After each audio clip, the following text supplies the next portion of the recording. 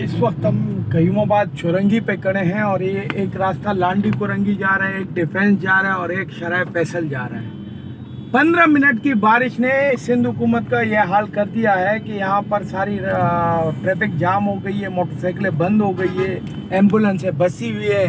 Administrator साहब, आप शराय फैसल पे और इधर उधर ना घूमे, इधर आ जाए। हर साल हमेशा इधर यहाँ ये सिस्टम चलता है। बारिश, आधे घंटे की बारिश तबाही कर देती है लोगों के लिए। जहमत बन जाती है। सिंध में सैलाब आया हुआ है, कराची में आधे घंटे के बाद बारिश ने सैलाब कर दिया है। कहाँ है सिंध हुकूमत डीसी एडमिनिस्ट्रेटर वज़ीर आला? यहाँ पर भी कश्तियाँ चलानी पड़ेंगी क्या? कराची शहर है। शर्म का और डूब मरने का मकाम है इन लोगों के लिए।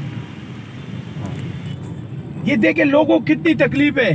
फैमिलीज़ बच्चे, बेचारे मोटरसाइकिलों से उतर उतर के पैदल इस पानी में जा रहे हैं। फैमिलीज़ जिन्होंने कहीं हॉस्पिटल जाना है, कहीं डॉक्टर के पास जाना है, कहीं शॉपिंग पे जाना है। वो तकलीफ़ में आ गए, परेशान हो गए। कहाँ है सिंध हुकूमत? कहाँ है बल्दियाती इदारे?